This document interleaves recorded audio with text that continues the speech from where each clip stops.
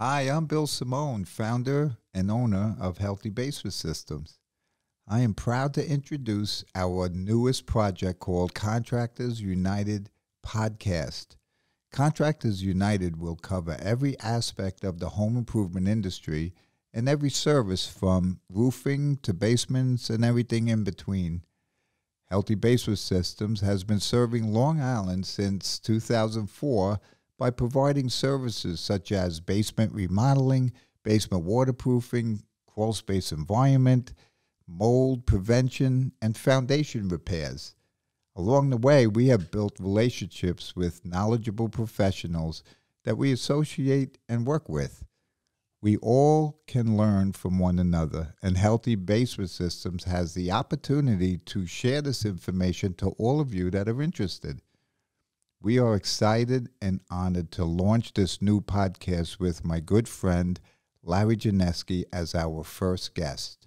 Larry Janesky owns Basement Systems, and since I met Larry in 2004, he has expanded his home improvement services and developed Contractor Nation which we are proud to be associated with.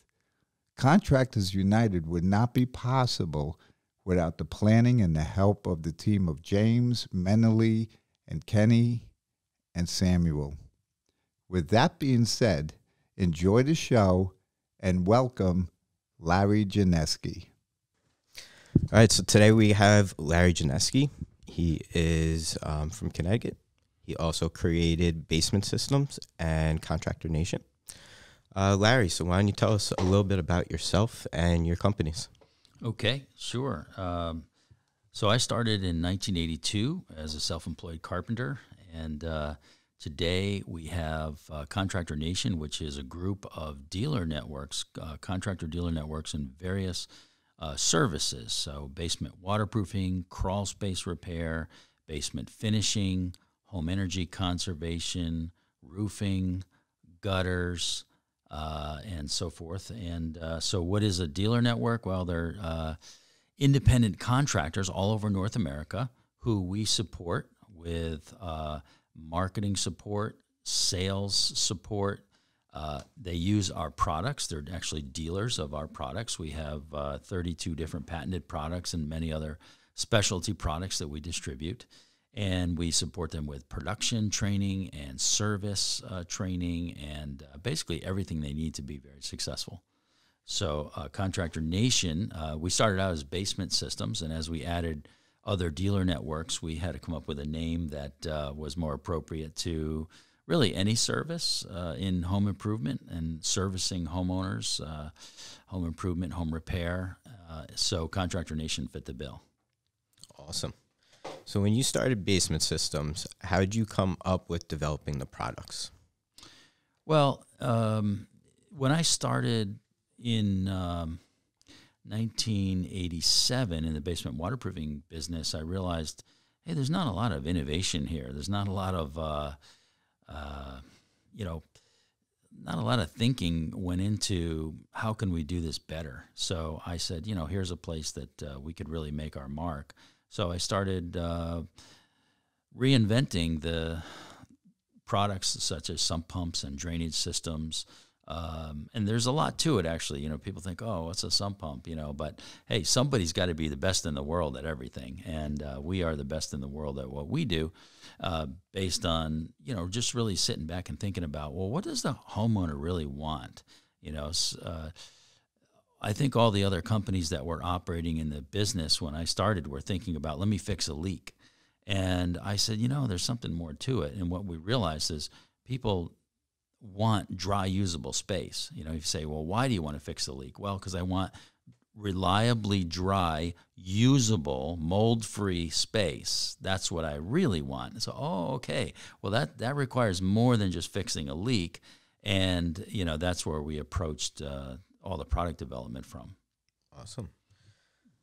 So when you were developing the uh, the systems, how many prototypes did it take you to finally get the right system?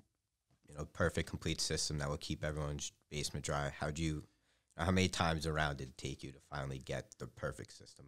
Well, it depends on the the product that you're talking about. You know, like uh, the drainage system that we use today, um, we it's probably the th- fourth iteration of different approaches.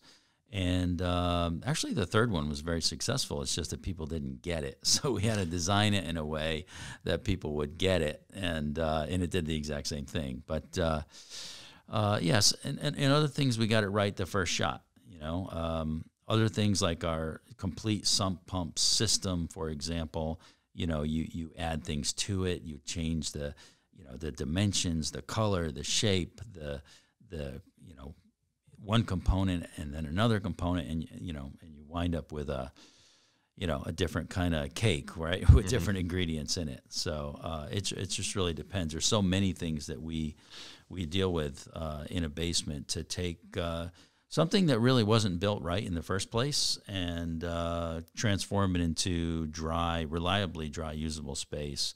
Uh, there can be a lot to it. So we we deal in drainage systems and sump pump systems and discharge lines from those sump pump systems, battery operated backup sump pump systems when the power goes out, and wall paneling systems and window systems and window well systems and and drains for across a, an exterior doorway and uh, flooring systems and you know there there can be a lot to it depending on what the standard that the homeowner wants to bring their basement up to.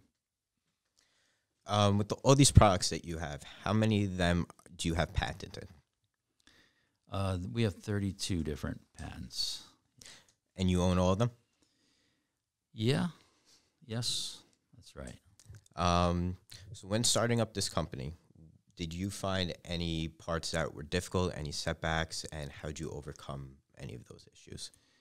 Well, you know, if you're doing your job right as the leader of a company, you're always pushing, right? You you want to always do better, and um, you want to do better for your customers. You want to do better for the company to have a competitive advantage and have less problems for everybody, all the stakeholders. You know, and meaning the customer is number one stakeholder, and the employees and so forth. So. Um, you know, there's there's always uh, problems. There's always improvements to be made, and you know, you can't be satisfied. You know, if you're if you're ever satisfied, then you you're not growing anymore. You have no incentive to grow. You say, hey, everything's fine the way it is. You know, so so yeah, so you know, it all feels like a setback when perfection is what you're chasing. You know, and uh, and you never actually get there. Mm-hmm think Bill actually showed me a quote that you had about uh, not everything has to be perfect; it just has to be done. You had it on the desk over there, right? Yes. Yep. Um, so obviously, your company now you have a ton of employees, but you obviously started off as a small time person at one point. Um, how many employees did you originally start with, and where are you guys now? Well, uh, let's see. I mean, obviously, we started with you know me and and a, and a, and a partner at the time. Uh, and today we have uh, we have 400 employees in, in Connecticut. We have uh, our, our, dealers in total have uh, probably 10,000 employees.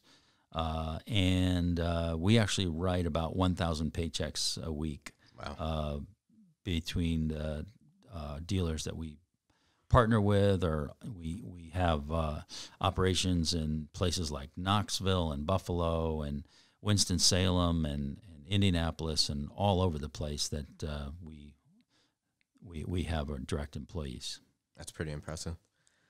Um, if you had to start your company over, uh, would you do anything differently?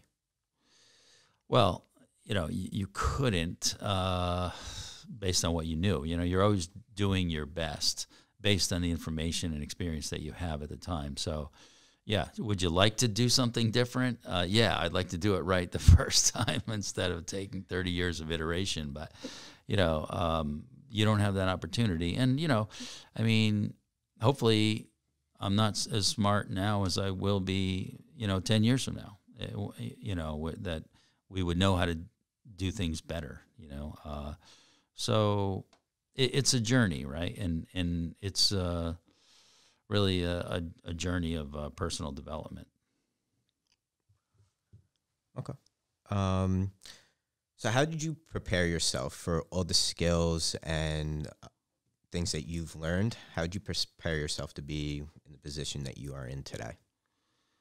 Well, uh, I didn't go to college. Um, I just uh, got out there and started doing things. And then uh, when I was about uh, 18 or 19, I discovered audio training programs, uh, cassette tapes, uh, they were at the time. And I just listened like a madman. I was just, I probably have read or listened to, I don't know how many books in my life, oh, thousands and you know you learn from other people. People are good at good at uh, marketing, good at uh, management, good at production, good at psychology, good at uh, selling, good at um, you know it, all the skills that it, it takes to to run a business. So so you know I think uh, when you graduate school, your your education really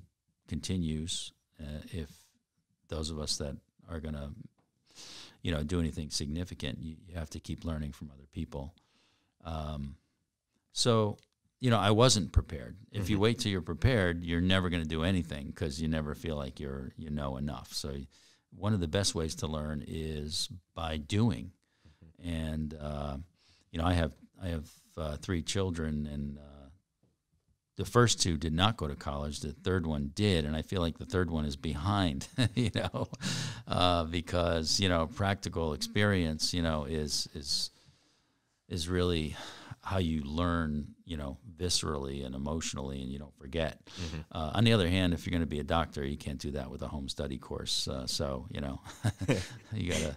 But fortunately, I was a you know a, a, a con- a home improvement guy and an entrepreneur, so um, they don't even teach that stuff in college anyway. That's very true. They do not. Um, for someone that was just starting up their own business, what advice would you give those people in today's world? Uh, just you know, learn. I mean, you know, now with the internet, it's so easy. I, you know, I'm almost envious. Back in the day, you know, you had to buy a audio program for sixty dollars, you know, and it's six, six, cassette tapes. Now it's free, you know, yeah. online, and you know, there's all kinds of experts putting stuff on YouTube and on podcasts, and and it's so easy to have access to information anywhere you go with your phone. Um, but uh, you know, I would just say learn, learn, learn, and act, act, act. You know, take action and uh, and keep asking questions. Don't don't ever think you know it all. You know, there's no stupid question. The only dumb question is the one you don't ask because mm-hmm. you're the one that stays dumb, right? The person that asks a question is is you know ignorant for a moment. The person that doesn't is ignorant for a lifetime. You know, so. Um, who's your greatest inspiration? I think that uh, you know anybody that's operating at a super high level in any given area. So if you ask me, you know, who's who's my inspiration in you know in sales or in marketing or in uh, management, you know, um, in building science, uh, you know, you get different names. Mm-hmm. So um, you know, you have to pull. You know, being an entrepreneur, being a CEO, being a, a leader you have to know a lot of things. You know, the, the business will never outperform the leader. And there's so many different dimensions to the business. And while you don't have to execute all these things, I mean, you're, you guys are into, you know, technology and you know how to use software. And like, I'm software is like, you know, my kryptonite, you know, I, I don't, uh, it, just because I don't make it a priority because I, I have people I just say, hey, can you run that report? Can you tell me this fact or figure? And they just look it up. And I, there's so many different softwares that they're using. You know, all, all, my different people have so many different software. So I couldn't possibly be an expert in all that. But I have to know enough to be able to ask the right questions and know when you know something is being done well and when you know it's not. Um, so there's a lot of different. Um, disciplines if you're going to be an entrepreneur. The the business will rise to the level of you know the, the organization's weakest skill, mm-hmm. right? So if you're not good at marketing, you're not going to get leads, so you can't sell anything. If you if you get leads but you're not good at sales, you're not going to sell anything, so you, you'll never have the chance to install it. if you get leads and you can sell, but you can't, you know, install it well, then you know that's going to be the limiting factor in the business. Um, so, you know, a, a, a, business person just needs to know a lot about the key uh, functions of the business and you know what makes it go. So you also created the School of Entrepreneurship, right? Right. Uh, tell us a little about that. So my dealers, you know, need a lot of help. Um, you know, we all need a lot of help, right? Even you know, leaders. Uh, the funny thing is, you know, oftentimes the leader is looked to be, you know, he should have all the answers, should be the smartest guy in the building. Uh, no one's telling the leader, you know, what to do, mm-hmm. right? the, the employees aren't saying, "Hey, I started here last week, but you sh- you're not doing a very good job at leading. You should do this better." You know that that's not going to happen, right? So um, the leader needs to be trained. You know how to be a good leader uh, and and run a good business. So um, we've been training business owners to do so many things for many years, but we've uh, I decided I was just going to really make a, a sort of university level course and create a school of entrepreneurship that goes on for three and a half years.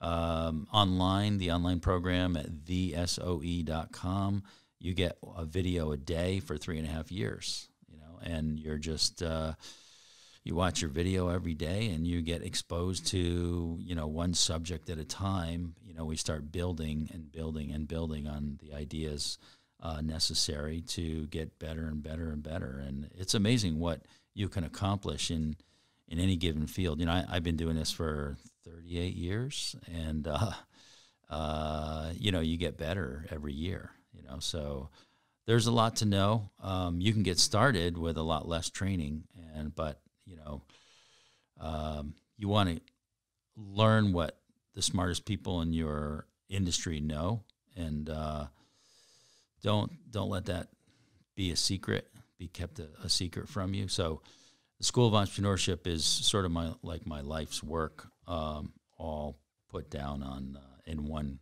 one place, one course. Has anyone had success um, after taking your course and gone off and made big corporations like you have? Oh, of course, yeah, yeah. Um, there's many stories how uh, companies have grown. I mean, there's uh, one I could think of was in business for 12 years, doing about half a million dollars in business a year, and uh, four years later, they're doing 18 million.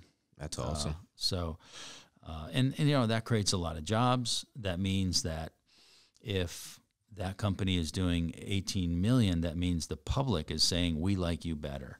We like you better than what is offered by other others, and therefore they're raising the standard of living for customers, right? Because the customers can get a better service, better quality for you know for for the money, um, and so it's just elevating you know society in general, right? So successful entrepreneurs are the drivers of a high standard of living.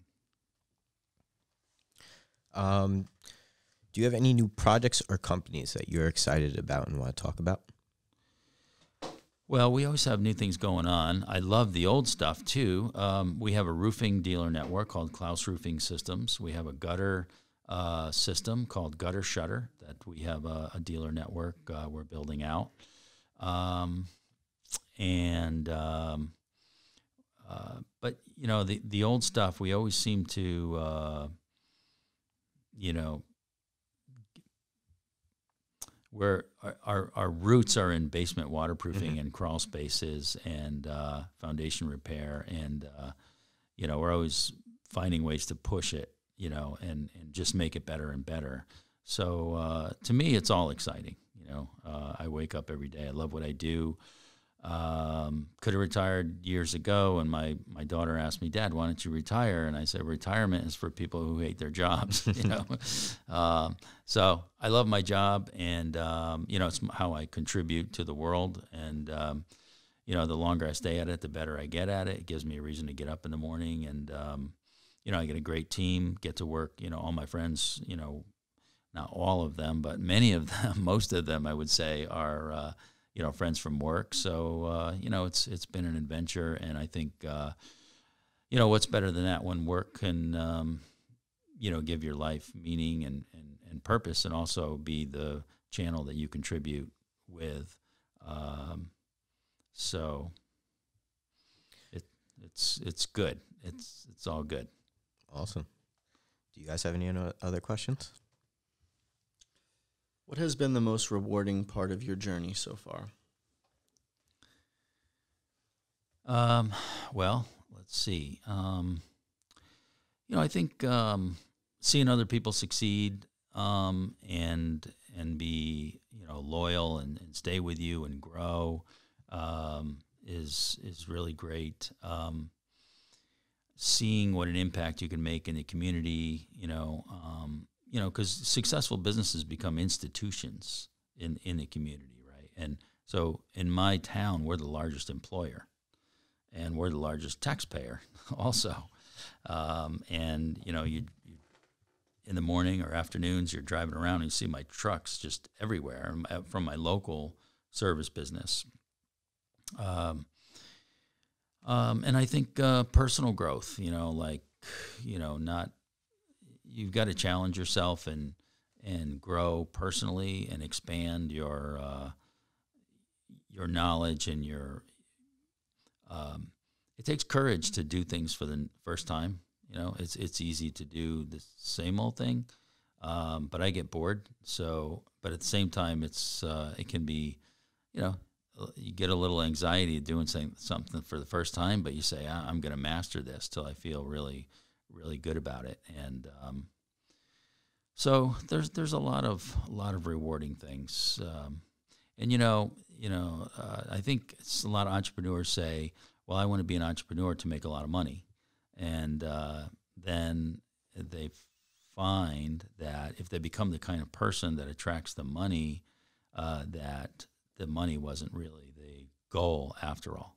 That it was the kind of person you become in pursuit uh, and and ultimately succeeding uh, is really you know what the what the juice is. It's like the journey, you know, the personal growth because you know you you can't take it with you, right? So what what do you have? You have relationships, you have uh, experiences and memories, and then the and whatever you know legacy you left behind. So uh, so that's that that kind of you know personal growth is uh, is something that um, you know I, am a big fan of businesses because they wherever you go in the world, you know wherever there's a high standard of living, there's businesses everywhere. Wherever there's a low standard of living, you're like you're you're looking around. It's like hey, there's no places for people to work.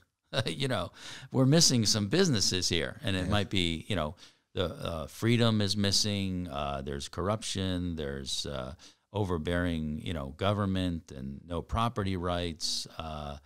Uh, you know, whatever it is. But there's, you know, businesses make the world go round. Let's face it. We all work at one, and they all, you know, they pay our salaries. They pay the taxes that ultimately, you know, get used for whatever purposes, good and bad. But uh, you know, without businesses, we're in trouble. So uh, I'm happy to play a meaningful part in that. Good. Um, all of the dealers in your network are service providers in the home improvement industry. Um, what is the future outlook looking for service providers in that industry? Oh, it's looking amazing. I mean, uh, houses aren't built well to begin with, and you know, to be fair to builders, if they were, they would cost three times as much. Um, so houses are sort of disposable, but for people they're not right i mean if it's your biggest investment in your life is your house and you know you don't want it to rot. You don't want it to be full of mold. You don't want it to settle. You don't want it to crack. You don't want it to uh, you know be unlivable right? You want it to be something that you're proud of. You want it to look good.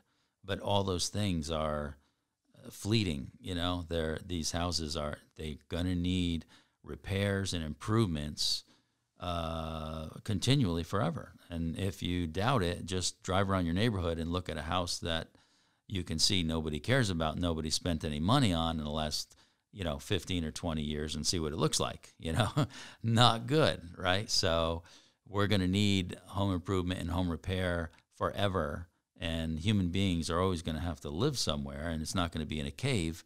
It's going to be in a you know a home with a concrete uh, foundation and a frame, you know, a, a, a framed uh, dwelling on top, and uh, that's made of organic materials that need to stay dry, and um, you know, it's uh, it's home the home home improvement and home repair business will be uh, safe as far as the eye could see. What are your thoughts on the prices of wood skyrocketing? Well, um, you know, COVID has uh, changed the world, at least temporarily, in a lot of ways. One, uh, reduced the labor force with the government paying people not to work. Um, and then you have, at the same time, they've given out a lot of money to uh, people. And so there's a high demand. So you have limited supply, higher demand and just something as simple as you know interruption in shipping or trucking uh, can you know completely dis- disrupt an industry. Um, so you know right now we have you know, at the same time it seems like most people in the world are are rescrambling, reshuffling their lives. Like uh, you know I used to live here, work there, stop here to eat, stop there to eat, shop over here, and now everybody's changed you know their their habits right so i live here and i i also work here and the kids also spend a lot of time here so i'm going to remodel this abandon that not go there go here instead and, and order stuff online and now all of a sudden we've got to rebuild the entire infrastructure for completely new habits for people so um, that creates a huge demand. And uh, so all of this put together, and you have shortages of lumber, of you know, uh, spray foam, of chips for cars. You know, the whole car can't be made because they're missing a chip. You know that that runs the car, right? Um, Your video graphic cards for the computers, I know those went like crazy during the pandemic. Yeah, I mean, so so many things. You know, Texas had that uh, big freeze down there. Turns mm-hmm. out most of the spray foam is made in Texas. You know, um, you know when the tanker, uh, the freighter ship went sideways in the Suez Canal well, all the shipping from India is you know stopped. Mm-hmm. You know, so you think 1.3 billion people export anything to the United States? Well, hmm. uh, you know, so uh, all, all, these things put together. Uh, so I think that these things are hopefully temporary, although. Um, I mean, I don't know if our deep in the weeds we want to get into economics, but um, you know, I, I, I'm very concerned about our federal debt um, and and inflation. And typically, to control inflation, which is inflation is a very bad thing. It destroys wealth from all of us, including your retirement account and your the value of your home, the buying power of those dollars. But um, you know, they typically raise interest rates to slow inflation, but now they can't do that because the federal government is, you know, 30 trillion in debt and they would be paying most of the interest that would break the budget. And so, what are they going to do now? You know what? Like, you know, either we're going to have big inflation or big interest rates. Uh, you know, it's it's it's worrisome, and uh, I think people should you know really wake up and say, you know, not what am I going to get out of this, but what are my kids? What world are my kids inheriting? You know, and be concerned about uh, you know fiscal responsibility. You know, if you and I spent money like the government did, we'd be arrested. You mm-hmm. know, uh, so uh, you know we all need to look at that and say, you know, look at the bigger picture instead of the short term. Uh, you know, who's going to win the next election because they gave me the most or something. I don't.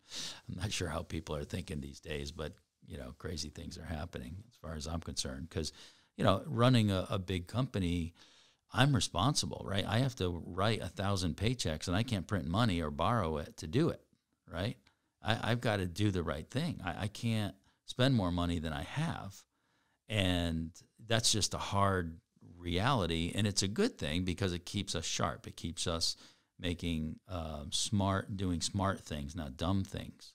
And um, so, you know, it's. Um, but nevertheless, people are. You know, I'm an optimist in the end, right? And uh, I believe that we we can have solutions to problems, but um, better that we stop digging the hole than to try to dig it deeper and, and fix it later. Gotcha. All right, last question. What do you think are some of the key attributes of a great leader? Uh, keep learning. Um, you know, so to me, leadership is accomplishing the goal of the organization while bringing out the best in other people. So let me say that again accomplish the goals of the organization while bringing out the best in other people. So you can't, you know, burn your relationships, burn your people, chase your people off, just, you know, keep turning over employees. You, you want people to be happy coming to work. You want to see shiny, happy faces every day, people that are energized, not people that are, you know, feel like they're being used, uh, you know. So, you know, working for the man, if you will, you know, kind of thing, you know. So, um, so, you know, you, you need humility. You need uh, to have a sense of humor. You uh, need to face the hard uh, decisions. Um, and, you know, at the same time, you know, you got to bring out the best qualities in other people. Don't expect everybody to be the same because they're not. Everybody has different talents and different personality styles and put the right people in the right seats um, and to build other leaders. You know, um, some leaders come at it like the more followers I have, the more powerful of a leader I am. But really, it's the more leaders you can develop, the easier your job gets, and uh, the more company, you know, can accomplish because you have a lot, a lot more people who are really empowered. You know, whether you whether your title says you're a leader or a manager or not, you want to empower other people to give their best and to do their best and give them responsibility, you know, pin a badge on their chest and say, you are responsible for this part of the business. We trust you and you have the talent and skill to, you know, to be able to uh, handle this and we're counting on you. People say, wow, they're counting on me. They trust me and they, you know, put me in the right spot and wow, I'm going to give my best because, you know, I'm at the right place. And if everybody feels that way, wow, that that's amazing. All right. Um, Larry, where can people find or reach you at? So, LarryJanesky.com. Uh, you can sign up for my daily blog at thinkdaily.com. I've been writing a, a blog, very short message of the day for uh, 12 years now. Uh, and I do another one called Think Daily for Business People. So, there's really two uh, messages per day every weekday, not the weekends, uh, that I've been writing for 12 years. And there's about 25,000 people that get them. Uh, so you can sign up free, and I'll never share your email address, thinkdaily.com. I also have um, a business book called The Highest Calling um, that uh, anybody in business will absolutely love because it's about you. Um, and you can see a bunch of my work on uh, YouTube. Um, one of the things I like to do for fun is race uh, motorcycles in the desert, long distance, like the longest nonstop cross country race in the world, the Baja 1000. And uh, I've I've done it solo with uh, and uh, done it with my son. So those movies, there's Into the Dust, Into the Dust two, three, and soon to be four, that are, are very very popular movies on on YouTube, like four million views. But um, you can see those on YouTube. There's all kinds of content if you just uh, search my name on any platform. Larry, thank you very much for coming. Uh, we re- really appreciate you answering our questions and taking your time and coming down and visiting us. Thanks for having me. And everybody go to thinkdaily.com and, and sign up for Think Daily. It's my uh, my daily uh, message of the day, and uh, 25,000 people get it every day. And uh, and I'll never share your email address because uh, I hate when people do that to me. So, uh, all right, thanks everybody. Thank you.